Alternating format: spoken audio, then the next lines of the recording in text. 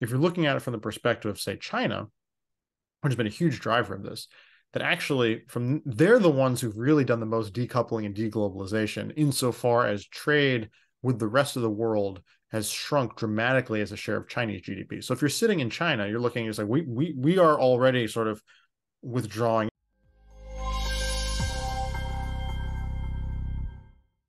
Welcome to What the Finance. I'm What the Finance founder, Anthony Fatseas. For the first time for many of us, it seems as if the world is moving further apart rather than closer together. From the Brexit vote to Trump trade wars with China, coronavirus pandemic, the Russian conflict, and continued tensions with China, it feels as if the world is being fractured into two and further towards protectionism rather than openness. I look forward to speaking further about this phenomenon with our guest today and unearthing the impacts of this on the markets. Uh, so today we speak with Matthew Klein. Matthew is the founder uh, of the Overshoot and co-author of the book Trade Wars and uh, Class Wars: How Rising Inequality Distorts the Global Economy and Threatens International Peace. So, Matthew, thanks so much for joining the podcast today. Thanks very much for having me. No problem. So, I guess my first question before we go into uh, trade wars, sort of, what are your thoughts on uh, the current markets and what we're really experiencing at the moment? Well, I mean, one thing that's interesting, if you just look year to date, is the extent to which we've seen this huge rebound in optimism, particularly whether it's sort of growth sensitive tech stocks or certain kinds of crypto related assets or certain commodities, whatever. It's been a huge shift in sentiment and pricing. Um, you've also seen interest rates going down, a lot of or longer term interest rates going down, even as um, various central banks are continuing to to tighten policy. And so that's the really interesting dynamic of why is this happening now? Was it just you know people sort of overstretched the end of last year? Now it's a fresh start and going to put put some risk back on. I don't know, uh, but it's definitely interesting to be watching this. Um, you know, the extent that central bankers are trying to tighten financial conditions and financial conditions are rapidly loosening by a lot of these measures. That's that's sort of interesting dynamic. I'm interested to see how that plays out. Um, but yeah, I mean that's that's sort of where we are. I mean, I guess the one sort of fundamental thing that's changed sort of the end of last year um, is the Chinese reopening, the abandonment of, of zero COVID, and the extent that we've been seeing that. Um, you know, I mean that explains why industrial metals, I think, have rallied to the extent they have, and and oil um, to a certain extent. But you know, is that I don't think that's everything. I think there's more going on than just that. So it's it's an interesting puzzle to watch. That's for sure.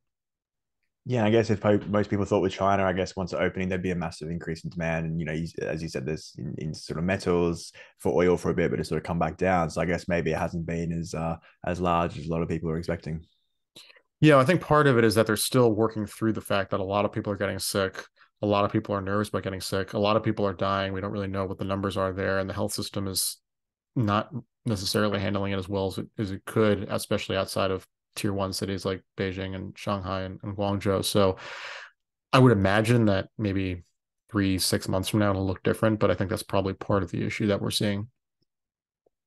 Yeah, definitely. So I guess from your perspective, what are the key uh, drivers of what, what we're experiencing at the moment? Do you think it's more that the uh, people think that uh, Powell is done with with tightening as, as aggressively as he has and sort of starting to slow down and uh, go that way? I guess due to disinflation, or do you think there's sort of other factors that could be uh, influencing this? Yeah, I think that's definitely a big explanation there. I mean, the big question we've had really at this point for two years is to what extent is this post, you know, the pandemic reopening going to lead to changes in trend growth and changes in inflation? That's been the question since the beginning of 2021. And initially, we were in one point of view, which was it's going to be great for growth um, you know, the forecast was saying that the U.S. economy in particular was going to be better off by now or next year than it would have been under pre-pandemic forecasts, while the impact on inflation would essentially be zero. Now, obviously, we've, come a long way in the past two years, but I think we're sort of we we may have passed sort of the peak pessimism where people were thinking, oh well, this is going to be terrible for trend growth. Um, and also we're going to have this really sustained inflation cost. I think now maybe I mean, sort of looking at the market action telling me what it is, but maybe the view is, well, maybe we overdid it a little bit on this, that actually there's going to be more disinflation happening without any kind of growth cost, without any kind of cost in terms of unemployment or for the perspective of stock prices, you know, profits and sales. And so that's going to need naturally lead to sort of a, a reassessment of, of relative pricing there. I, I mean, I don't know if that's right. I mean, maybe, you know, people were wrong before or right now, maybe they're right before wrong now. But that, I think that's probably kind of the big big driver at the, that sort of high level. Yeah, and do you think the key, obviously, you mentioned employment there, which I guess, or uh, unemployment, which was uh, something that Powell is really closely watching. The fact that we haven't really experienced any that that big a change in that number, do you think is that that's allowed it to get this far and potentially for a safe landing, maybe? Well, it really depends on your point of view because uh, I mean, this is not just true in the US, this is true across the major economies. So European unemployment rates are multi-decade lows. I think in Australia, you know, the employment population row is basically an all-time employment population ratio is like an all-time high. I mean, this is we're seeing this uh, across economies and, and, including ones that did different kind of policy mixes in the United States. I think from the perspective of the Fed, it's an interesting question because on the one hand, a lot of their models say we need unemployment to go up in order to bring um, wage growth to a slower pace and then that's going to feed through to slower inflation and so from that perspective the fact that the job market has been as resilient as it has been is actually a problem for them the alternative point of view, of course, is that you don't need this to happen. And in fact, Powell said that he was gratified that so far we've managed to see a fair amount of slowdown in inflation without any kind of cost to the labor market. And so just because that's what the models say, I don't think that's what he personally wants. I think a lot of other officials probably don't want that. If they, I'm sure they would prefer a world where inflation just goes away without any kind of labor market costs. So there's a tension there between what the forecast might be saying internally and what the implications are for, you know, what they want the job market to do versus, you know, being normal people looking at this and obviously it'd be nicer if we didn't have to have millions of people lose their jobs for inflation to get back in line i mean that that's always a very unpleasant trade-off and no one wants to make that choice so I, I, you know how we interpret this you know for the growth outlook is a little tough to say but i mean i think it, i think it flows through to why stocks and, and risk assets are are positive because if the view is we don't need to have a cost to growth then all those companies that were very geared towards growth can continue to make money. Um, and there's no there's no trade-off there. So that's obviously really good for them. But you know who's going to be right or wrong? That's that's obviously the real real question but we'll, it'll take a little while to find out. Yeah it seems like the people who've been wrong have been the ones who go for the extremes i guess you could say you know 2011 20 uh, sorry 2021 2022 it was more like you know growth you know covid's changed everything it's growth all the way.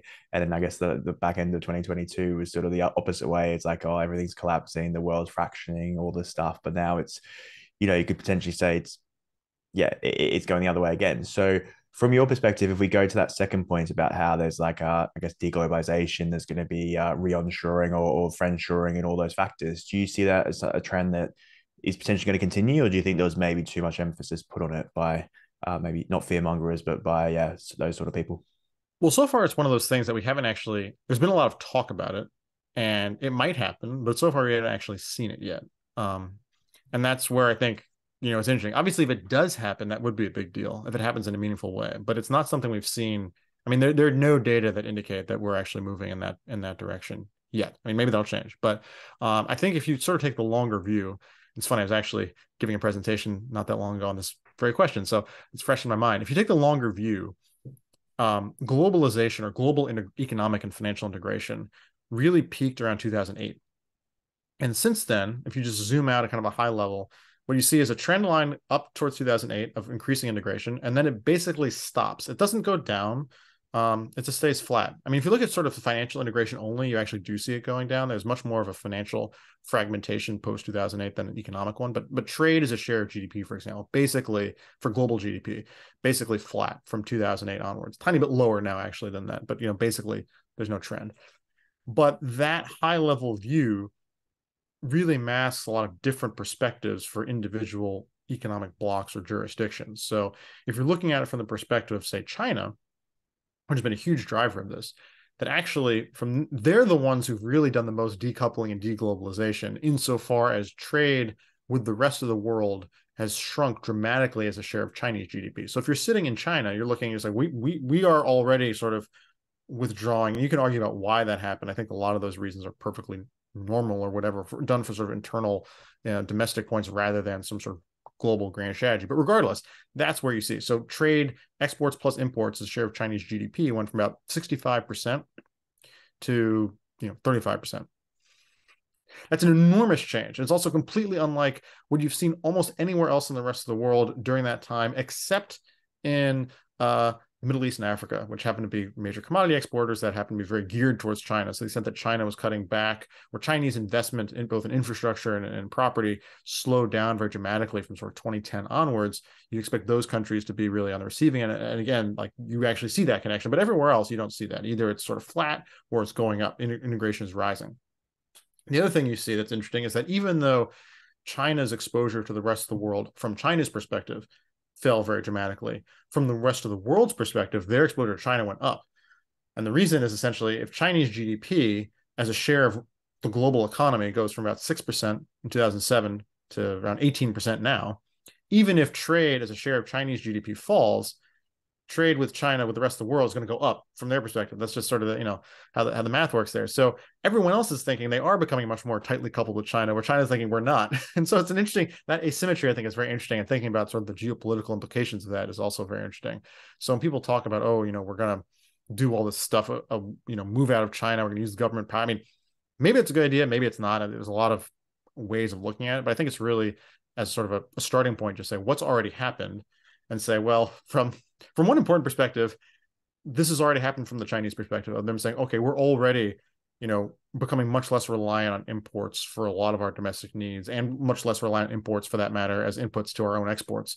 And so, you know, the rest of the world is catching up to what China had been doing for the past 15 years, that's an interesting phenomenon, but I don't think it's necessarily a sign of some, you know, deep new fracture that pre-exists what's been going on for 15 plus years.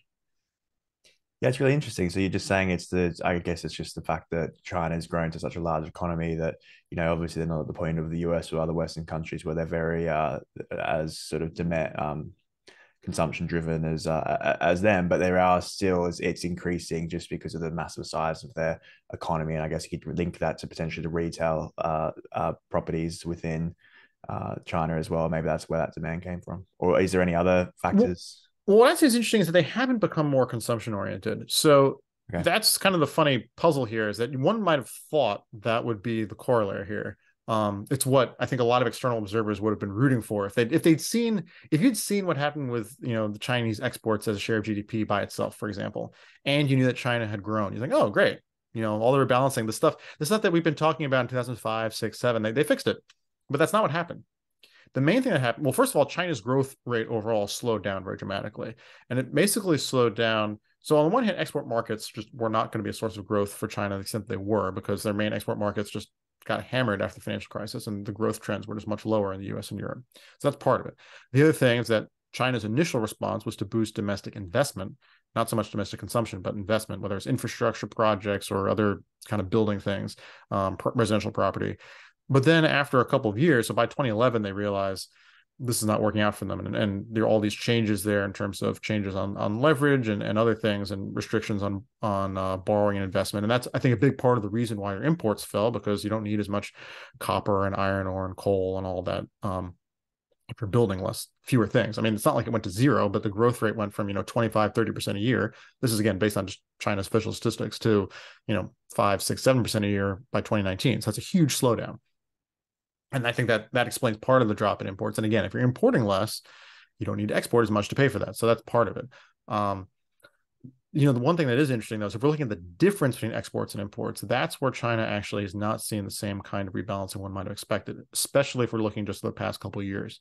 So relative to the Chinese economy, the trade surplus was about 10% of GDP around 2007, 8 when it peaked. It hasn't yet hit that again, but over the past couple of years, it has increased dramatically. Uh, and in fact, the increase in the trade surplus has been a major source of overall growth in the Chinese economy because domestic demand has been so weak with COVID restrictions.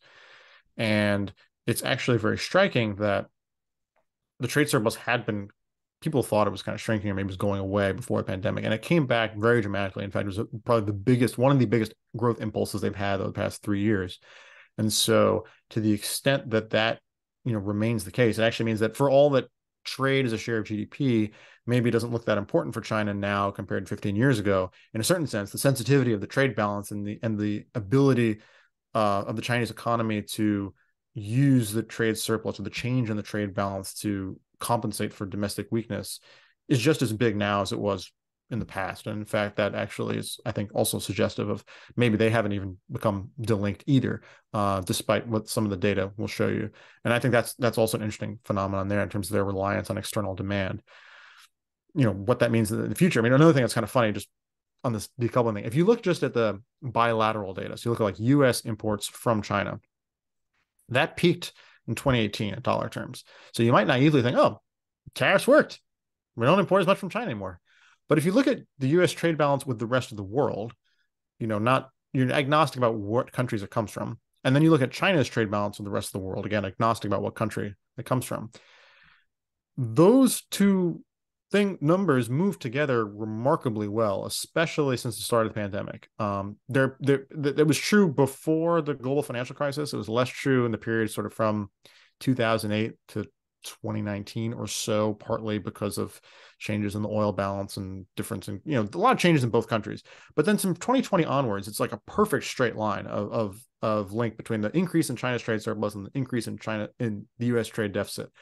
And so what that tells me is, you know, if you're forgetting for a moment about like the legal particularities of where you say a particular import comes from or goes, I mean, these are still two economies that are very, from this perspective, remarkably connected, despite what anyone else says in terms of their relationship with each other. Yeah, that's, that's really interesting. So you you know we are talking about I guess consumption within China. Is that really just a currency uh, issue? The fact that you, you could say that maybe their currency should be stronger because of our because of their exports, but there's uh sort of limitations there.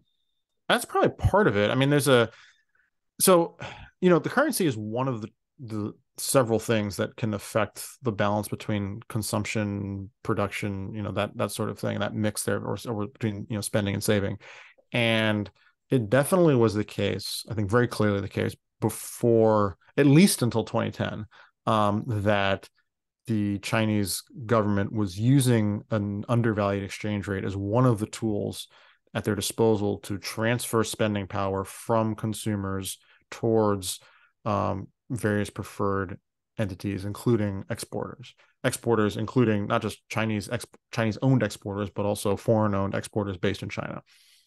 Now, more recently, it's not as obvious in the sense that the official foreign reserves of the People's Bank of China have not they peaked in I think 2013 or something like that, and they've been you know they dropped a bit you know from then to 2016 and sort of stayed flat actually started ticking up again a little bit recently, but you know, very small.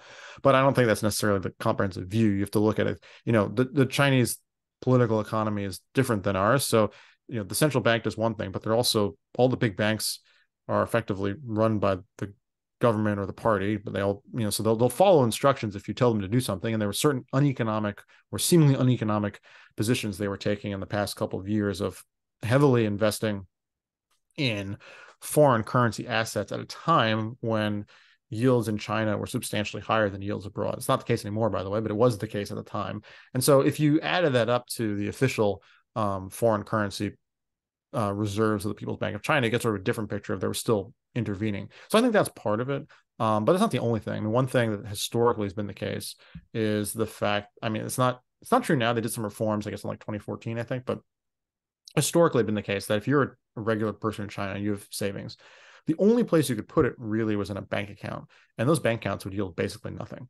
And those banks would then lend to preferred borrowers at rates that were not zero, but were relatively low compared to the growth rate in, in the Chinese economy. And that worked out great for the banks because they got a nice spread. And it worked out great for the borrowers because they basically were able to borrow well below whatever reasonable cost of capital. But it was terrible for the depositors. So there's a huge transfer from ordinary people trying to save something to to you know the businesses and local governments that were getting this money. That's changed somewhat since then. Um, it's not fully fixed, but it, it that, that has reformed. Um, there's also, I mean, another big thing that again, there's been some progress on, but still not really enough is uh, China's tax system is very much skewed towards taxing consumer spending and not taxing income or for that matter business profits and there's no there's no property tax in China. Uh, the income tax is minimal and it basically means that if you, in fact the people at the upper end of the income distribution pay much lower effective tax rates than a lot of other people.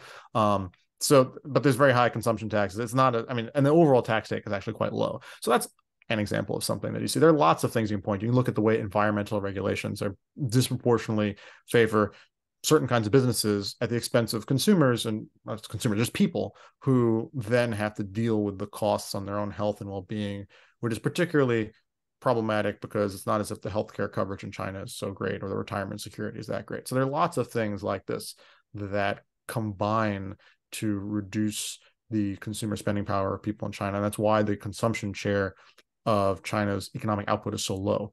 So in most countries, it's a range, but you know, you think about everything that's produced in an economy, somewhere between say like 60 to 75% of that or so, maybe 60 to 70 is goes to consumer spending or is consumed by households. It's like what they want. And some of it's some of it's the government does things, some of it's, you know, home building, that's the other parts, right? But uh, some of it's exported or whatever. But you know, in China, we're talking less than 40%. That's a huge gap. And that I think is a function of its very unusual political economy. The only other places you can find in the world that have a consumption share of GDP that low are either tax havens, so places like you know Cayman Islands or Ireland or things like that, or um, sort of very small oil exporters when oil prices are very high. But these are very unusual situations. That's not at all analogous to China, which is a large, diversified, basically continental-sized economy. And so, um, yeah, it's it's reflective of these very deep political economy problems they have um, and imbalances. Yeah, it's really interesting. So I guess if we go to uh, sort, of the book and that you're the co-author of, uh, in the title specifically, uh, you sort of it mentions how rising inequality distorts the global economy. So I guess what has influenced this inequality? Yes, I mean actually a lot of what I was just telling you is, is in the book. Um, it relates to that. Uh, so yeah, I think the first part of just thinking about you know when we talk about inequality, it's it's there are lots of ways people talk about it. I think the sort of simplest one is just how is spending power how accessible is spending power to people and you know, how distributed is that among different people and different types of people because it you know the sort of very basic the, the argument sounds kind of weird but it's, it's it rests on some very simple propositions um one of which is that you know we have seen the concentration of income gone up. That's an empirical fact. Another empirical thing we've observed across society is that people who have much higher income, so like not everyone, but like at the very top anyway, the income distribution, you're not going to spend a lot of what you earn on goods and services because there's only so much you can you can buy, and the rest of it's going to go into buying assets. Might be trophy properties or more likely it's going to be like stocks and bonds, things like that. For everyone else, for the vast majority of people, if you get money, you're going to spend it sooner or later. you know, right away, but like before you die, like that's that, that's going to be how it goes. Whereas, you know, for you know, small sort of segment of the population, that's not how it works. And we've seen an increase in uh, inequality. And then the other point is that if someone is buying financial assets and not buying goods and services, that only works if someone else is issuing financial assets. Um, and the flip side, you know, since all income comes from buying goods and services at the end of the day, if someone is not buying goods and services, and buying financial assets. That means other people are buying goods and services who are not necessarily having the income to do that, and they're issuing financial assets somehow. The, whether whoever that is, so maybe the government is running budget deficits to pay for welfare or whatever. I mean, that's one possibility, right? Or you have like consumers taking out a bunch of debt out of their houses to to buy things, whatever. That that's the kind of thing that we see, and basically, if you look at the history of the global economy, particularly since 1989, we've seen this huge couple big changes uh, that led to income concentration across the major economies It was most enough of them to make a real difference here, and that led to these big uh, increases in both borrowing and saving. Um, so the saving by the people who have a lot of extra money and borrowing sort of necessity, you know, has to be that way. You know, the the counterpart to that extra saving, and that that made things very unstable. Um, it meant that we had debt bubbles that eventually burst. It also meant that to the extent that you didn't have enough borrowing and lending, um, that you just had an overall reduction in in total purchases of goods and services and a weakness in income growth and that was also very disruptive and so you know we say trade wars are class wars it's that we think about trade economic conflicts between countries like oh the chinese took our jobs or whatever or you know in the european context you say oh those those damn germans you know screwing us over or alternatively those lazy you know spaniards are taking all our money. All of those things are wrong and they're they're wrong in a very important way which is that it's nothing to do with what country you're in it is all about where you are like what is your economic role within your society? That that basically the vast majority of people across countries actually are in a very similar uh, economic situation at least in terms of how well they've been doing and, and who has been benefiting at their expense. And that um, you know th- thinking about it in terms of country versus country is, is profoundly misleading and that's really the the core argument of the book and and it relates and i think if you if you take the time to go through it and i confess that it's not straightforward but that's why it's book length as an argument um it explains a lot and i think it clarifies a lot of things that happened over the past 30 plus years. Yeah it's interesting because i guess a lot of people would probably say that maybe uh, a lot of this inequality has occurred you know, after we've experienced globalization, you could say from you know mid mid seventies to where we are today, there, there has been that sort of increase in in the inequality. So is that would you you mentioned there? I guess the liberalization of, financial finance in general. Would you say that's more what, what's influenced that rather than maybe the actual globalization itself? well, I think it's yeah. So I, it definitely coincided with globalization, but I think it's important to to note, which we do, that globalization itself is not what caused the increase in inequality. And the problem that we have is that it's the way we chose to globalize increased inequality and in fact took it or put another way a lot of the important actors across these different societies used globalization or took advantage of greater economic openness and economic integration to increase inequality in their own societies and take advantage of the opportunity that presented. So it's not that globalization inherently would have led to inequality or the globalization would have inherently been economically destabilizing. It's more that the way that it happened to go, that we happened to go about it. And in fact, basically, can, one way of reading our book is essentially an argument of it didn't have to be this way. We could do a different way. And like, it's not that globalization is a problem. It's just that it it's neither good nor bad, right? It's just it just is.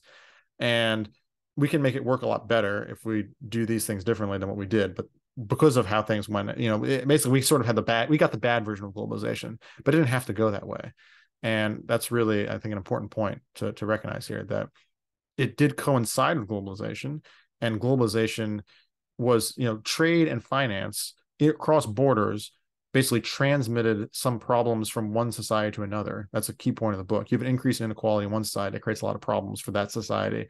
Some of those problems spill over to other societies through trade and financial channels. But that doesn't mean that trade and financial linkages are inherently bad. It just means that the problems in that society that then spilled over are bad. You know, you you don't want to destroy the whole system just because someone else made a, a mistake, essentially. And that, I think that's really an important point as well. So with those, I guess, uh, problems that were um or, or the bad bad decisions or uh that that impacted that were they mainly i guess due to sort of corporations and i guess them focusing on their own um, specific, I guess, interests, or or what were those? Well, this is where it gets complicated, and it really yeah. depends. You have to look kind of at the specific histories of the different economies, and and you know, there's a mix of ideology and sort of particular domestic political circumstances. There's a lot of things that have to do with, you know, challenges of managing economic development or you know trying to converge with rich societies and you know, certain kinds of development models or just your own political domestic priorities i mean it really as it really depends i mean that's why you know you've you've you've read the book uh, or it sounds like you read the book and i mean like the whole second half is basically kind of doing these detailed analyses of the major three major economies namely the us europe and china and really trying to get into what actually happened and why because the story in every place is different. Um it just you know that's i mean i think one of the other big takeaways here is that history is contingent. This was not inevitable. You know just as i said that globalization was not inher- inherently bad it just turned out that way for a specific set of reasons. It's very helpful to know what the reasons were, and so that's kind of what we're going into. So there, you can look at the history of, of you know what happened in China, particularly after 1989, but also leading up to that, and that how that played out, or what happened with Germany after reunification, and how did that redound to the rest of Europe, or what happened in the United States, and you know why is it that the United States and Germany had in many ways very similar paths internally and yet had very different outcomes externally you know that's a lot of what we spent the book talking about so yeah, it was all contingent, and there's not one single explanation. The things you mentioned definitely were factors, but it really depends on on where you are and on when exactly you're looking.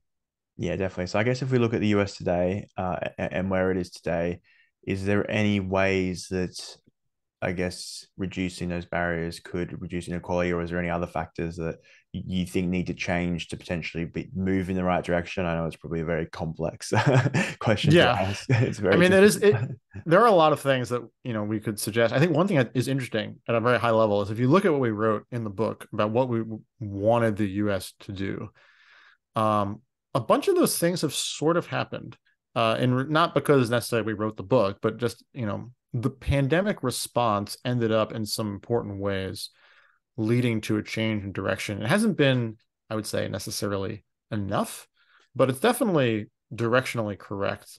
And I mean, even some of the stuff in Europe too. I mean, it's you know, again, it's sort of one of these too early to tell kind of things. But there's been a huge change in Europe with the pandemic and then with the war uh, in Ukraine. You're seeing changes in the way European policymaking is is happening, and you know people's perspectives on what is appropriate and what's not appropriate. And I think that's also moving in a direction that could potentially be very positive, and at least using our our framework. So I, I you know I don't know.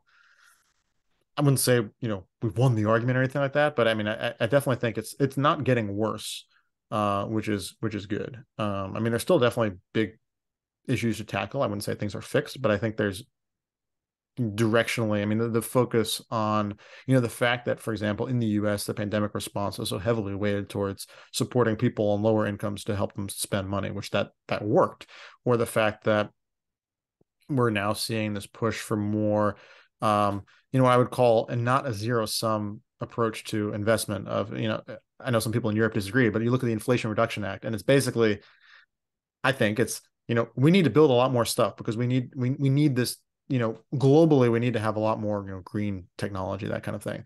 We're going to spend a bunch of money to make it happen. And by the way, some of it would be nice if it ended up in the United States because we don't want all to leak abroad. But we're not, you know, preventing anyone else from selling things here. I think that's a reasonable approach, right? I mean, the, the, the sort of counter arguments, if you didn't do it that way, then you then all the money would go somewhere else. And that's not a problem that it goes somewhere else. But if it goes places where then other people there don't have the ability to spend it, then it basically kind of disappears down a black hole um, which would be a problem, right? I mean, if everyone had the same kind of consuming spending balance that you have in the United States, that wouldn't matter. But if you know, since since those balances are not the same everywhere, it's important to kind of retain a little bit, uh, make sure that some of it stays in your own country. That's fine. I think the fact the European response seems to be coalescing around, okay, fine, we'll do this too. I mean, that's great. Um, again, like in terms of the overall quantities, how are we going to, you know, the, the labor share has not actually increased in the United States. I don't think it's increased in Europe either, um, or China or any of these places yet. Um, so, you know, we have seen an increase in in real incomes for people in the lower end of the distribution, at least here. Um, but you know, on the sort of big picture level, we haven't we haven't. It's not like we've we've seen like a really big change of the kind that we'd be talking about as being healthy. But you know, things are as I said in the directionally correct. So hopefully that will continue. Yeah, it's interesting. So I guess, as you said, during COVID, lots of fiscal support, especially for lower income uh, families who are struggling during that period. And then are you thinking that, and this is something that um, sure, I think Russell Napier has mentioned that there's going to be a lot more targeted investment uh, from governments, and it could that could be through grants, as we've seen in the uh, the deal you're mentioning. It could be through maybe uh, government backed loans through banks or something like that, where they can actually then decide where that capex is going to go, and then from there potentially kickstart certain industries, so semiconductor, green investment, all that's factors. So you think that's sort of going to, be the direction of uh, what would potentially reduce this inequality?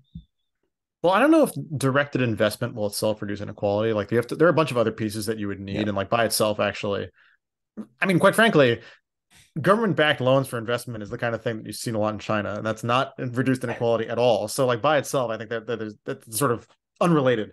Um, but I think you know it's nevertheless. I, I do think we're probably going to see more of that. I think that there's at least in it seems like there's sort of a growing non-ideological consensus in favor of this stuff from people and politicians on both the right and the left. Um, the combination of COVID and the greater recognition of you know needing to do something about climate change and the war and generalized security fears, I think creating an interesting policy environment and and that sort of this new consensus. I don't. I think it's sort of totally separate, to be honest, in the question of inequality, because as like you, you, can very easily have an industrial policy that is very bad for workers. In fact, arguably many industrial policies are bad for workers um, or consumers. Um, it really depends on the details of implementation. So that that would be yeah, that's my view. Yeah. Okay. So then what? So I guess moving in the right direction. You've mentioned a few things. Is that like furthermore like labor laws, or what else do you think? Yeah so so one thing is just the the amount of fiscal spending relative to what you're taking away in taxes. So for example if you're if you're doing a lot of spending on investments but then you're more than covering it through taxes on consume you know consumption then you know on the one hand you're subsidizing investment but the net you know so the macro picture on a high level is, is not you know conducive to more consumption. So that balance is important to strike. Um, what are what is the policy in terms of things like labor standards for example or wages uh, that's part of it too um, so there are a bunch of you know specifics you could you could point to in terms of what the mechanics are i, I mean if i said at the, at the, at the very high level if you're looking at the us and europe not china but the us and europe you can say okay there's been this big shortfall of investment of all types public private whatever residential over the past 15, 20 years, depending on your point of view, 30 years, depending on where you're talking. So the extent that we kick that up a gear and we do that without squeezing consumers, which is an important point, that should be very growth positive and also help reduce inequality. But there are a couple of cap, but you know, there's a couple of conditions for that to be met. So I'm not sure yet that either the quantities we're talking about are yet going to really move the needle, and you have to make sure that you're not doing it at the expense of consumption because promoting public investment at the expense of consumer spending is a, I mean, that's not going to help for inequality necessarily at all. I mean, as I said, that's the, that's a very that's what China's done. I mean, essentially what Stalin did. I mean, if you take it sort of really literally, I mean, that's not that that is not necessarily going to improve living standards. It's really about the mix. And I think again, like I think policymakers in Europe and the US are thinking about this in general the right way. I'm just not sure we've actually seen it. You have to wait for the implementation to see it really happen. Yeah, it's going to be a challenge. So, Matthew, thank you, thank you so much for your time today. I really appreciate it. So, I guess my yeah. uh, last question is: What is one message you'd like people to take away from that conversation? Oh man. Uh, well, first of all, uh, check out Trade Wars are Class Wars. Uh, I think you'll find it. If you found this interesting, you'll find that interesting. And uh, prosperity is not zero sum. We can all do better uh, globally. We don't have to view one country's success as coming at the cost of someone else because it doesn't have to be that way. Yeah, that's a great message. So thank you so much. Uh, you've mentioned the book. Is there anywhere else that people people could find your work? Oh yeah, of course. The Overshoot. Uh, theovershoot.co. Uh, that is my subscription uh, research service, newsletter, what have you. So you can find sort of more real time updates on what's going on in the global economy there. So and uh, and I should also note uh, Michael Pettis, my co-author on Trade Wars are Class Wars, and I have a monthly uh, podcast that's called Unbalanced, which is covering you know the global economy. So check that out as well. Unbalanced dot unbalancedpod.co. Perfect. I'll put that all in the description below. So if anyone wants to find that, can. So uh, Matthew, thanks again for your time. Great. Thanks very much for having me. Thank you so much for listening. And if you enjoyed the episode, please subscribe and click the bell icon so you are notified when new podcasts are released. I hope you're leaving with some great value about investing, trading, and finance. See you on the next show.